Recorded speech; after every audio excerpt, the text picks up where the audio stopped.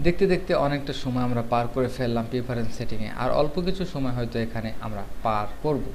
User interface colour পূর্বেই বলেছিলাম, আপনি ডার্ক অথবা লাইট কালারের জন্য এখান থেকে একটি স্লাইডার রয়েছে সিলেক্ট করতে পারেন।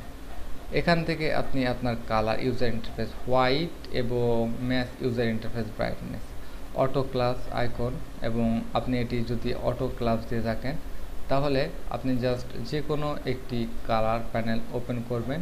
এবং ওপেন করার পর বিশেষ করে আপনি এটি অটো ক্লাস হয়ে যাবে। যেমন এখানে আপনি এটিকে বাইরে রাখলেন। বাইরে রাখার পর এটি যদি অটো ক্লাস হয়, যখন অবজেক্ট আপনি এখান থেকে সিলেক্ট করবেন, আপনি জাস্ট এটিকে হোল্ড করেন। এখানে কালার বা এখান থেকে কালার সিলেক্ট করেন এবং পরবর্তীতে যখন এখানে ক্লিক করবেন, তখন এটি অটোমেটিক চলে যাবে। খেয়াল করুন অটোমেটিক চলে যাবে।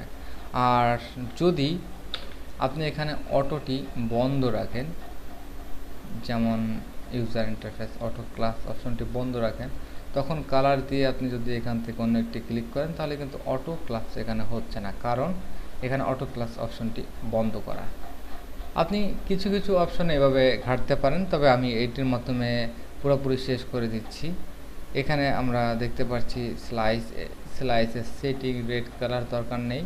এখানে আমাদের আর তেমন গুরুত্বপূর্ণ কোনো সেটিং নেই ইউজার ইন্টারফেস এখানে file handling and clipboard use row resolution proxy for link EPS ইপিএসের জন্য আপনি লো রেজুলেশন যদি ইউজ করেন, তাহলে লো রেজুলেশনে আপনার খুব অল্প জায়গায় ধরে যাবে এবং display bitmap as NTLS system NTLS হচ্ছে খুব স্মুথ টাইপের আমাদের কার্ভিং পয়েন্ট তৈরি করে। যাই হোক অ্যাপিয়ারেন্স অফ ব্ল্যাক আমরা জাস্ট ব্ল্যাককে দেখছি।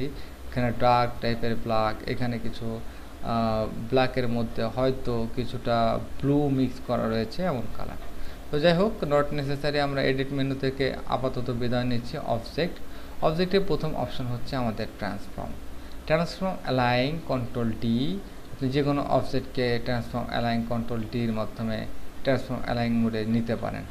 আবার আপনি এখান থেকে আরও কিছু অপশন রয়েছে move shift control A for move আপনি কোন দিকে মুভ করতে চাচ্ছেন, কতটুকু মুভ করতে চাচ্ছেন, এখান থেকে মুভ করতে পারেন।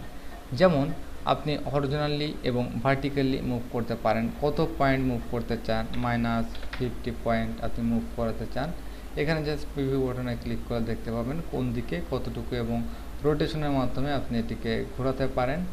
ডিস্টে এখানে ডিস্টেন্স জাস্ট হান্ড্রেড আপডেট করুন। এখানে ফিফটি উপরেরটি ফিফটি ওকে এবং আপনি আপনার ডিস্টেন্স এরিয়া এভাবে চেঞ্জ করে নর্মালি ওকে প্রেস করলে এটি মুভ হবে অথবা কপি প্রেসের মাধ্যমে নতুন একটি কপি তৈরি করতে পারেন।